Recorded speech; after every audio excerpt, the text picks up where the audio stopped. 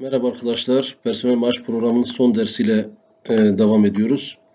Arkadaşlar bugün cumartesi günü fazla zamanınızı almayayım diye e, bu dersi anlatmam gerekenleri hepsini yazdım. Sadece size kodları göstereceğim. Öncelikle bu programda neler yaptık bir hatırlayalım.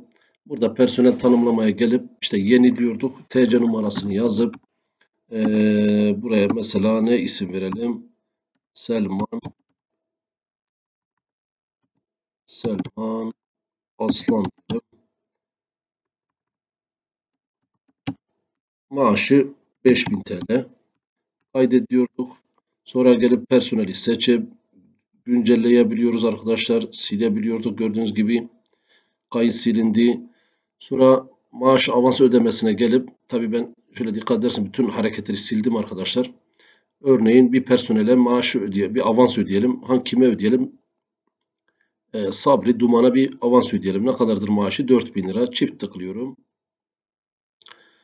Buradan avansı seçip işte 500 avans diyorum.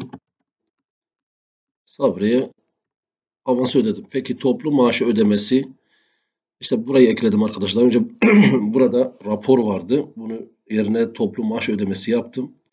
Şöyle toplu maaş ödemesine tıkladığım zaman Sabri'nin normalde maaşı 4000 iken avans 500 lira avans ödediğim için karşıma 3500 gelmesi lazım. Toplu maaş ödemesine tıkladığım zaman tüm personeller geldi. Gördüğünüz gibi Mehmet e, Sabri Duman'a 3500 lira yazdı. Mesela Nihat Can 5000 lira maaşı var. Daha bu işleme gelmeden, toplu ödemeye gelmeden örneğin ay içerisinde Nihat Can'a da farz edelim. 700 liralık bir avans ödediğimizi farz edelim. Ya da bir seferinde 300 avans ödeyelim. Ondan sonra bir daha e, Nihat Can'a bir 300 lira daha avans ödemiş olayım. Evet 300.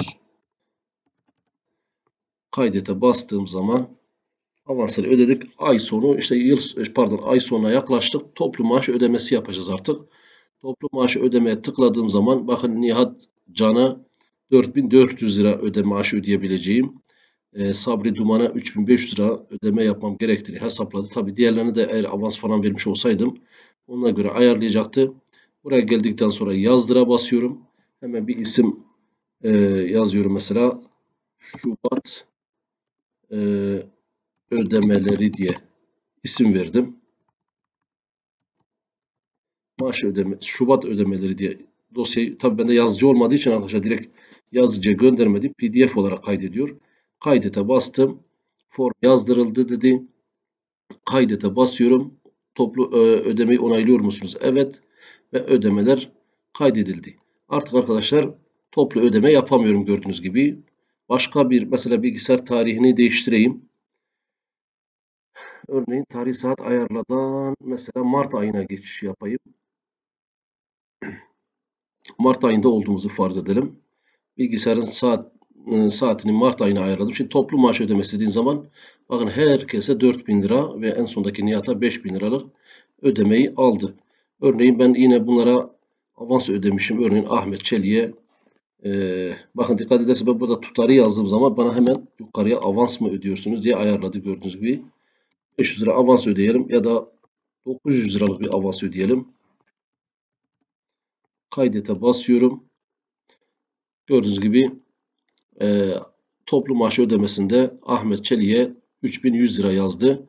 Burada tekrar yazdır deyip yazdırabiliriz. Buna da Mart ödemeleri diyorum.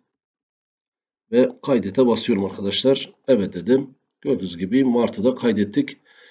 Şimdi her personeli mesela burada seçtiğim zaman Ahmet'i bakın Ahmet'in işte 3. ayın e, avansı, 2. ayın maaşı, 3. ayın maaşı burada detaya gelebiliyorum. Ocak, Şubat, Mart, Nisan hepsini böyle tek tek görebiliyorum. Evet bu derste yaptığımız bu arkadaşlar. Şimdi neler yazmışız bir görelim kod, kodlarını. Nasıl kodlarını göstereyim. Arkadaşlar burada toplu maaşı diye bir form hazırladım. Öncelikle şuraya LST personeller zaten ben şu ödemedeki şu listeyi aldım galiba. Evet. Yok. Personel listesindeki hani şu e, formu kopyalayıp Buraya yapıştırdım. Bunun ismi LST personeller. Bu BTN iptal ismi. Şunu BTN yazdır. Bu da BTN kaydettir. Önce iptalden başlayayım. İptalin içinde ne yazmışım? Unload me. Bu kadar. Beni kapat. Sonra yazdırın içerisine ne yazmışız? Yazdırın içinde bu kodlarımız var. Ee, 2'den işte 1 milyona kadar toplu maaş sorgu sayfasındaki A'nın X'i boş ise çık. Sonra toplu maaş sorgudaki J1'e imzala yaz. İsterseniz bu yazdırdığımız formu da bir bakalım. Mart ödemelerinde ne yazmış? Şu şekilde arkadaşlar. Maaşlarını ödemeden yazıp şurada da imza demişiz. Ee, buradaki toplu maaş sorgudaki J1'in e, değerine imza yaz. Sonra sheet toplu maaş sorgu nokta print out yani yazıcıya gönder. Bu kod arkadaşlar yazdır demektir. Sayfayı yazdır. Evet buradan sonra toplu maaş sorgudaki J1'i silmişim tekrar. Sonra FRM mesaja caption'ına form yazdırıldı. frm mesaj nokta show diye mesaj verdirdik arkadaşlar. Bir de formun activate kısmı yani form açılır açılmaz aktif hale gelince şu kodları işletiyor. Buraya da yazayım açıklama. E, form aktif yani açıldığı zaman diyelim.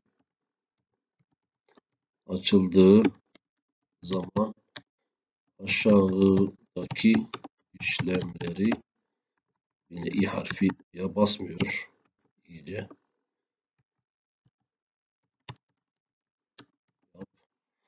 Ee, önce max ödeme maksimum ödeme hesapla bir önceki e, avans kısmında da arkadaşlar bunu anlatmıştık zaten ama bu sefer farklı bir prosedür buraya yazdım. Tabii bu prosedüre birazdan bakacağız. Şuna, şunu ne yaptığına bakacağız. LST personel e, selected 0 yani sıfırıncı satırını seç demişim. Eğer e, satır boş ise e, LBL mesaj caption'a bu ayın maaşları maaşları ödemiş durumda. E, ondan sonra mesaj formunu show yapıp burayı kapattık. Yani şunu yapıyor. Bakıyor arkadaşlar. Burası boştur. Bu ayın maaşları ödenmiş duruma doğru. Ondan sonra geldik şu maksimum ödeme hesapla. Bu ne yapıyor? Buraya bir gelelim. Bakın ne yapıyor? Şurada. X, Y, ST ödenen maaş diye değişkenler tanımlandı. Şunlar long, şunlar integer, ST satır. Bu da double arkadaşlar. E, satır 2'den başlatmışız. Niye 2'den başlattık? Çünkü şuraya alacağız ya arkadaşlar kayıtları buraya alacağımız için ST 2'den başlattık. 2 olacak 3, 4, 5 diye gidecek. Ondan sonra toplu maaş sorgu sayfasını temizle. Toplu maaş sorgu sayfasını temizle. Toplu maaş sorgu sayfası bu. Burayı önce temizletiyoruz. Peki bunu bir prosedürle yapmışız. Prosedür de yukarıda gördüğünüz gibi 2'den 1 milyona kadar eğer toplu sorgudaki A'nın x'i boş ise çık. Aksi halde A2'den IX'e kadar boşluk yap yani temizle yaptık. Şimdi geldik buraya. Tabii ilk bu e, maksimum e, ödeme hesapla çalıştığı zaman önce oradaki sayfayı temizliyor. Sonra burada bir 50 bin kişilik bir personel olduğunu düşündük. For'ya işte 2'den 5000'e kadar personeller sayfasını sayfasını kontrol et. Bu bakın şu for'dan şuradaki next'e kadar bir döngüdür arkadaşlar. Geliyor personel sayfasında bir döngü oluşturduk. Döngü boş ise yani A'nın iyesi boş ise çık dedik. Yani gelecek önce buraya. Önce şuraya bakacak boş mu değil. Burada işlem yapacak. Sonra şurada ta şuraya gelince baktı personeller bitti. Döngünün dışına çıkacak. Peki geldi baktı. Heh, döngüyü başlattıktan sonra şurada bir for döngüsü daha oluşturduk. Bir tane for x döngüsü oluşturduk burada da. Bu da maaş hareketleri üzerinde bir döngü arkadaşlar. Bakın şuradan başlıyor. Şu next'e kadar. Evet bu şu for y personeller üzerinde dönecek. Sayfasında dönüyor. Bu da maaş hareketleri sayfasında dönüyor. Burada da yine maaş hareketlerinin A'nın X'i boş ise çık demektir. Her seferinde gelecek burada maaş hareketlerine bakacak. Şuraya bakacak, şuraya, şuraya sorgulamasını yapacak. Ta ki en sondaki şu boşluğu görünce diyecek ki buradaki karşılaştırma bitti. Sonra gelecek tekrar şuraya gelecek y. Ondan sonra tekrar maaşta onu karşılaştıracak. Böyle bir sorgu. Burada önemli olan burada ne demişiz? Eğer maaş hareketlerindeki A'nın X'inin değeri, maaş hareketlerindeki A'nın X'i. Peki bakalım. Maaş hareketlerinde A'nın X'i nedir? Personel kodu. Personeller sayfasındaki A'nın e, Y'si nedir? Personel kodu. Şu iki kodu karşılaştırıyoruz arkadaşlar. İki kodu karşılaştırıyoruz. Maaş hareketlerindeki A'nın e, X'i eşit ise personeller sayfasındaki A'nın Y'sine yani ikisi birbirine eşit ise. Tamam baktı ikisi birbirini tutuyor. Yani geldi baktı arkadaşlar. Şurada PRS e, 005 var. Baktı burada da PRS 005 var. Tamam. Sonra ne yapıyor? Sonra bir şart daha var. Eğer maaş hareketlerindeki H'nin X'i mont değil yani bu ayın bu şu anki tarihin ayına eşit ise. Ayrıca önce baktı personellerdeki A'nın X'i A'nın Y'si ile maaş hareketlerindeki A'nın Y'si birbirini tuttu. Bir de şuraya bakıyor arkadaşlar. A'ya bakıyor. Şu ay. Acaba ay 2, 3 müdür veya 2 midir? Şu anki aktif tarih neyse onun ayı birbirine tutuyor mu? Tutmuyorsa geçecek ama tutuyorsa gerekeni yapacak. O zaman ne yap? Baktı e, A sütundakiler birbirini tuttu, kodlar birbirini tuttu. Ay da bu, bu şu anki tarihin ayıdır. O zaman ne yapıyor? Ödenene ödenene ekliyor bakın. Ödene ek, ödenene ekliyor. Neyi ekliyor? Ee, application worksheet function sum yani al toplamını al maaş hareketlerindeki g'nin x'ini bakın g'nin x'i maaş hareketlerindeki g'nin x'i g'nin x'i nedir? Şuradaki tutardır. Bunu her seferinde ödenene ekliyor. Geliyor burada bir tane buluyor. Sonra gelip şurada bir tane daha bulunca aynı şartları tutan onları birbirine topluyor arkadaşlar. Peki sonra ne yapıyor? And if şu if'in and if'ini buraya yazdık. Şu if'in de and if'ini buraya yazdık. Sonra next arkadaşlar. Bu next zaten şu döngünün next'idir. Dolayısıyla ödeneni bulduk. Burada ödeneni tuttu. Sonra geliyor. Maaş diye bir değişkenimiz vardı yukarıda gördüğünüz gibi. Şurada maaş. Maaş değişkenimiz var. Maaştan maaş eşittir diyor. Personellerdeki E'nin Y'sinin değeri. Bakın personeller personeldeki personeldeki E'nin Y'sinin değeri yani şuradaki tutardan neyi çıkarıyor? Ödeneni çıkarıyor. Şu yukarıda bulduğu ödeneni çıkarıyor. Avansların toplamını falan neyse çıkarıyor ve ortaya adamın bir maaşı çıkıyor. Ödememiz gereken maaşı çıkıyor. Hatırlıyorsanız adamın maaşı 4000 liraydı. Ona 900 lira avans ödedik. Burada ödeneni 900 olarak buldu. Veya bir tanesinde 300 300 ödedik. Bir seferde 300 sonra bir daha 300 daha buldu. Topladı 600. Maaşı da 5000'di. 5000'den 600'ü çıkardı. 4400 buldu. Ee, burada e, tanımlamalar e, maaş eşittir. Personel sayfasındaki E'nin Y'sinin değerinden ödeneni çıkar ve onun maaşını bul. Bir de şurada tanımlamalardaki E1'inin değerini yine tanımlamalardaki E1'in değerine 1 ekle dedik. Yani şuradaki tanımlamalardaki şu işlem kodunu 1 1 arttır arkadaşlar. E1'i arttır. Bakın 700'e kadar gelmişim. Ben her seferinde kaydedip sile sile bu tarihe gelmiş. Bu sayıya gelmiş. Oradaki işlem kodunu da arttır. Dikkat ederseniz e, maaş hareketlerine bakın işlem kodu sürekli artmış. Bakın en son 680 680'e kadar çıkmış gördüğünüz gibi. 689'a kadar çıkmış.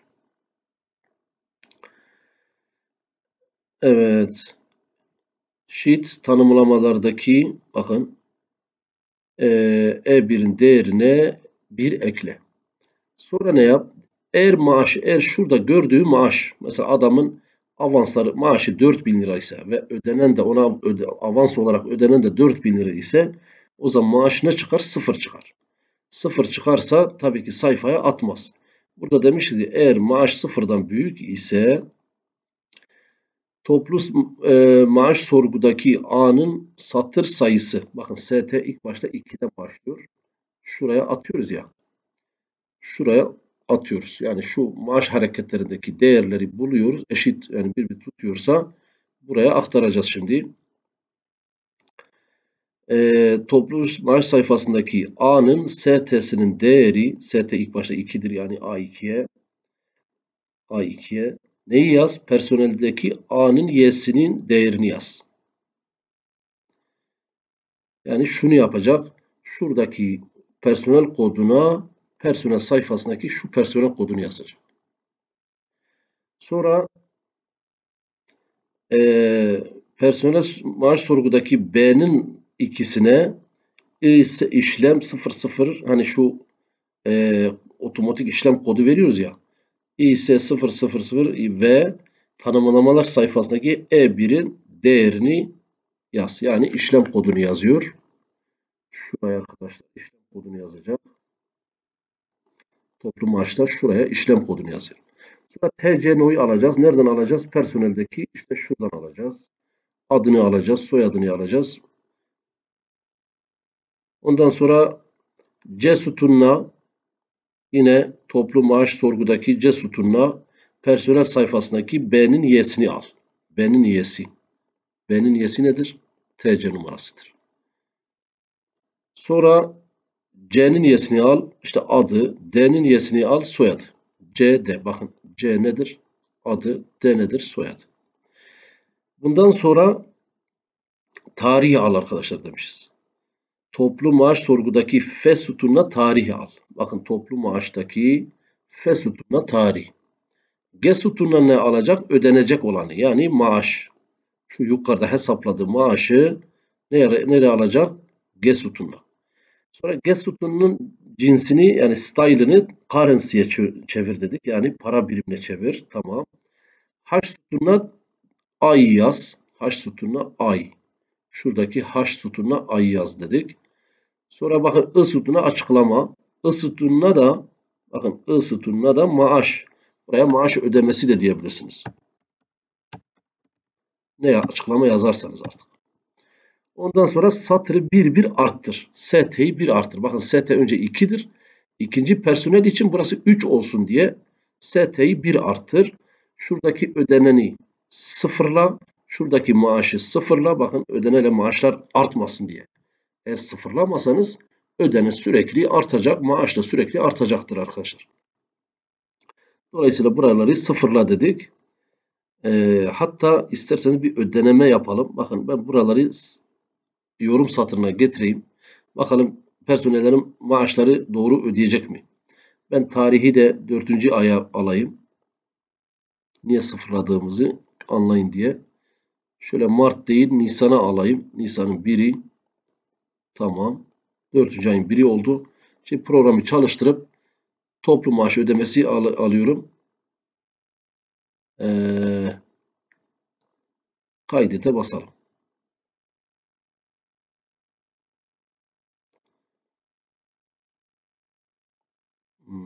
Bu he, hiç ödeme şey olmadığı içindi pardon. Bir saniye ben şu dördüncü ayı sileyim. Hiç avans falan ödemediğimiz için şöyle bunu sileyim.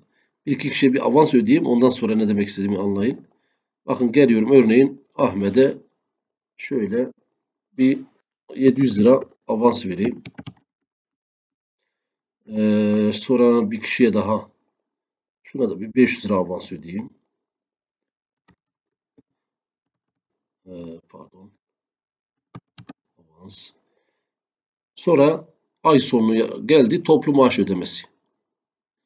Bakın arkadaşlar 3300, 3300 bak hepsi hatalı. İşlemler hepsi hatalı. Niye? Çünkü hep ödeneni arttırmış arttırmış. Maaşlar 2800 lira kadar çıkmış gördüğünüz gibi.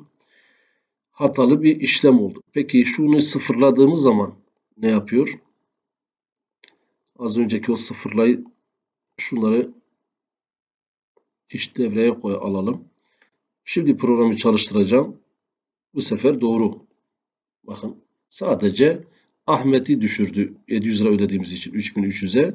Bir de Hakan ayı 500 ödediğimiz için onu düşürdü. Geri kalanları doğru bir şekilde ödemesini yaptık arkadaşlar. Bu ayın ödemeleri yapılmıştır. Evet, şimdi kodlarımıza devam edelim. Nerede kalmıştık? Ee,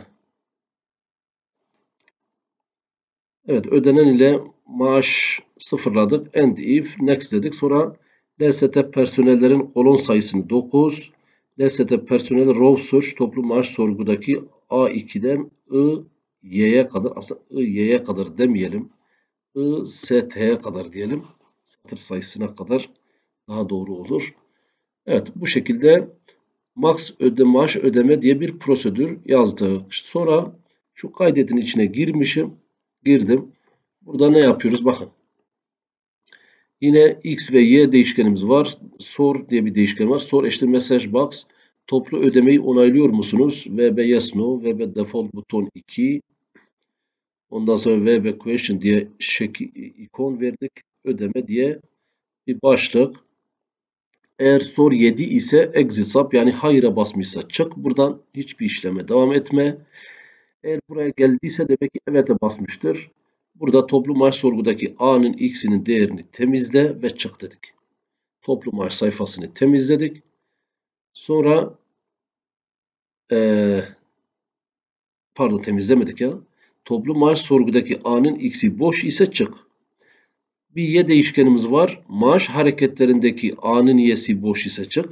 Dolayısıyla hem X hem Y e, sayılarını bulmuş olduk. Sonra dedi ki şu toplu maaş sorguyu, sorgu sayfasını seç. Top, toplu maaş sorguya git dedik.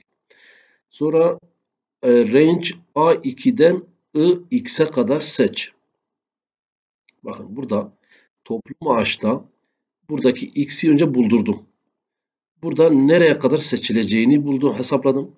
Sonra seçileni kes, selection nokta cut, seçileni kes. Sonra maaş hareketlerindeki maaş hareketlerine git. Bu select demek. Maaş hareketlerinin sayfasına git demektir. Sayfaya git. Ee, burada da yine bu nedir? İşte aralığı seç. Belirtilen aralığı seç. İyi basmıyor arkadaşlar. Çay döküldüğü için. Bel, belirtilen aralığı seç.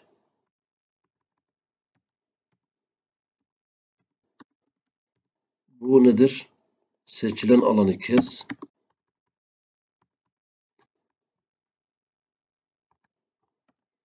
Seçilen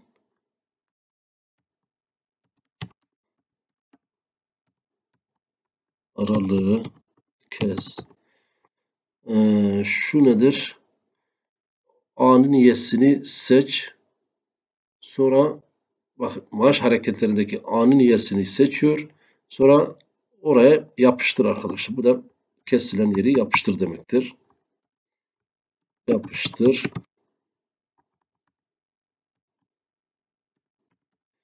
Ondan sonra bir mesaj ver. Ödemeler kaydedildi ve FRM show dedik ve bitti arkadaşlar. Dolayısıyla tüm kodlar bu arkadaşlar.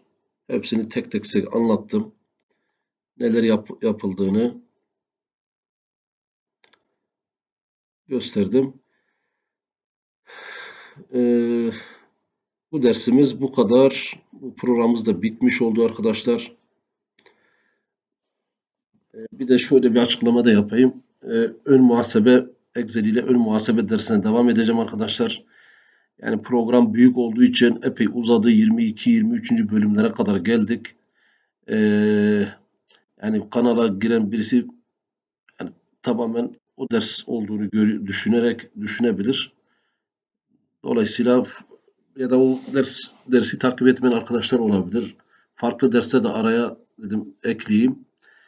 Ee, bir de şöyle bir plan var arkadaşlar. Yarından itibaren e, inşallah yani bundan sonra bir 2 3 4 günlük e, 3 4 tane derste e, bu evden eve taşımacılık yapan bir firma için bir örnek uygulama hazırlayacağım. Bunu da ders olarak size göstereceğim arkadaşlar. Ee, yaptığım uygulama çalışmayı da e, firmanın mailine göndereceğim her her dersin sonunda. Dersin sonunda da e, ilgili firma o uygulamayı kullanacaktır arkadaşlar. Öyle bir şart koştum. Size bir program hazırlarım ama e, YouTube'da ders olarak da arkadaşlara, takipçilere göstermek istiyorum. O şartla ben size böyle bir uygulama hazırlayacağım dedim. O uygulamayı da beraber yapacağız. Siz de öğrenmiş olacaksınız. Ve dersi de yani yaptığım çalışmayı da e, ilgili firmaya firmadaki arkadaşa göndereceğim mailine. Tabi dersin dışında da en sonda ufak tefek bazı eklemeler, özel istekleri varsa onları da eklerim. Bu dersimiz bu kadar. İzlediğiniz için teşekkür ederim. Hepinize iyi geceler diliyorum. Bakalım kaç dakikamız olmuş? 26 dakika.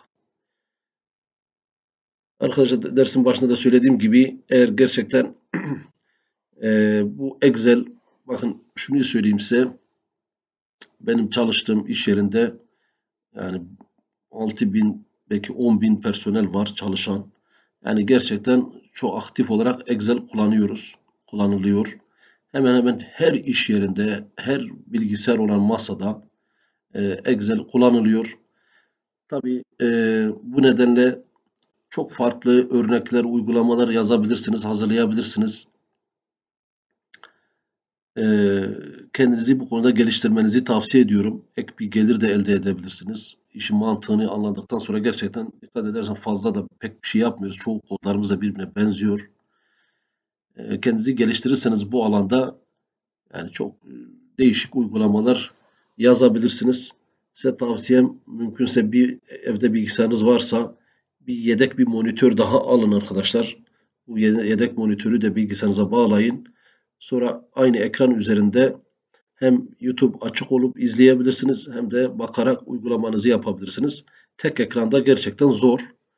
Ee, bu nedenle size ikinci bir monitör, ucuz bir monitör bulun gücünüze göre. Onu da kullanırsanız çok daha rahat edersiniz.